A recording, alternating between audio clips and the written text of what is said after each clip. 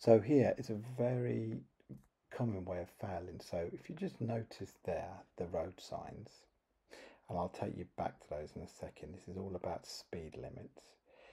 That we've just come off the A500, which was a 50 mile an hour road.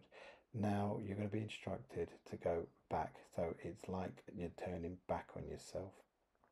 As you can see, as we come around here, we're just following it around. So remember, the last speed limit sign that we saw was 30 miles an hour and I'm just going to show you that sign just to remind you.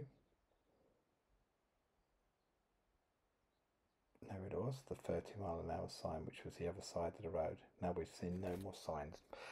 So have a look at this road. Where people go wrong they think it's a, a slip road but actually we've got street lights no other signs. The last sign we saw was 30 so on this test, the person ended up doing 39 miles an hour, believing it's a slip road, which was a foul, and that was your 50 there. So be aware of this.